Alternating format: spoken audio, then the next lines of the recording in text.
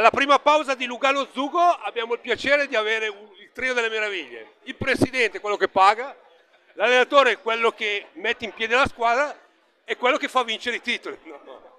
Giustissimo, bravo, bravo, hai proprio ragione. Presidente, io ho ancora un pranzo da prendere perché io al pranzo della vittoria non mi avete invitato, quindi io ho una cena che mi viene.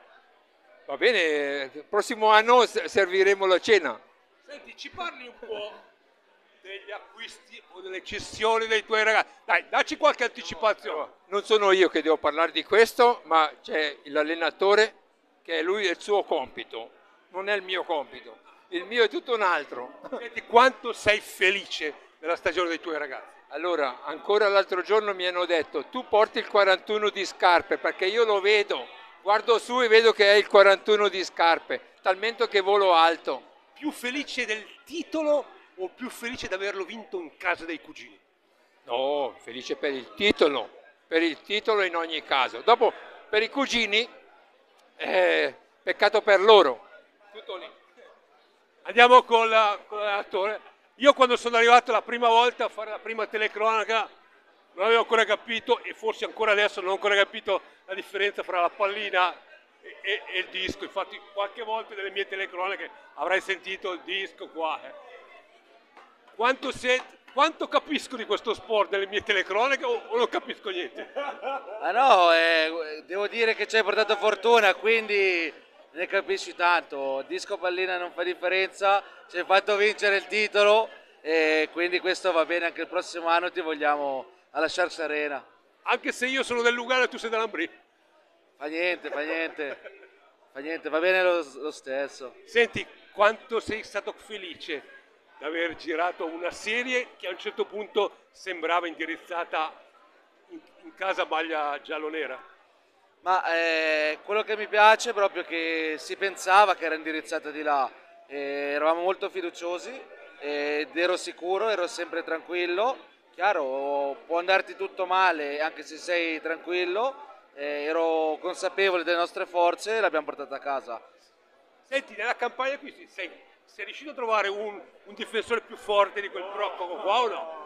Ma diciamo che l'ho trovato, è stata la sua riconferma a vita al Malcantone, quindi va bene così. Ah, non ti hai trovato uno, uno- uno al suo posto, no? No, ha firmato a vita al Malcantone, quindi va bene, va bene così.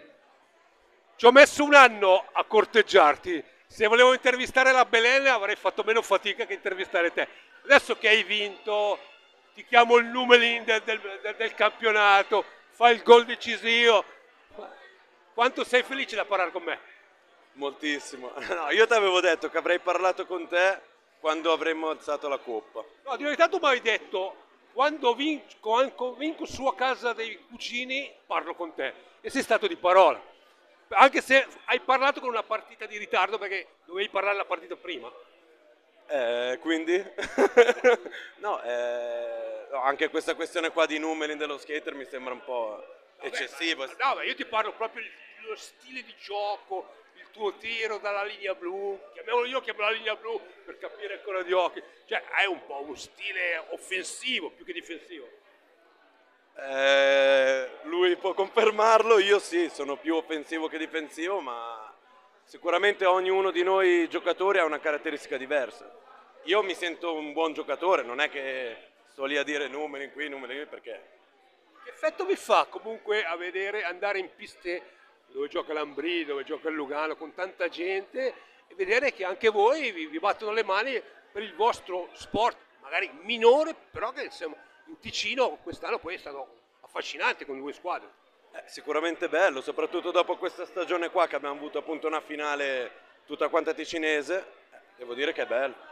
L'ultima cosa, a fare, a fare la preparazione penso che forse sia la cosa più antipatica per voi, perché sappiamo benissimo che insomma eh, durante la settimana magari ci si allena un po' di meno perché ci sono le partite. Adesso non avete scusante, l'obiettivo è Supercoppa con, la- con il Santa Luca. Eh, eh, dici bene, ma eh, la, la stagione se vuoi inizia subito quando finisce, hai il tuo tempo e inizialmente quando è vero sono un po' più noiosi allenamenti a secco, palestre e quanto.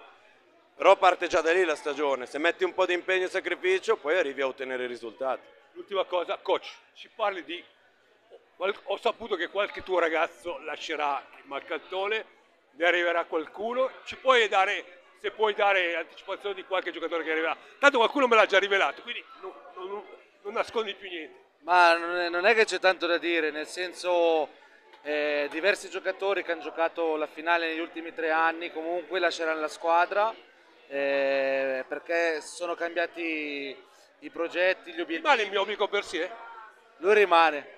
Eh, sono cambiati i progetti, sono andati via in 6 o 7, ma eh, non via. Hanno lasciato la squadra, ci abbiamo parlato, non facciamo più parte del progetto. E arriverà Marco della Santa del Paradiso e Gabriele Curcio in porta dal 6 Luca.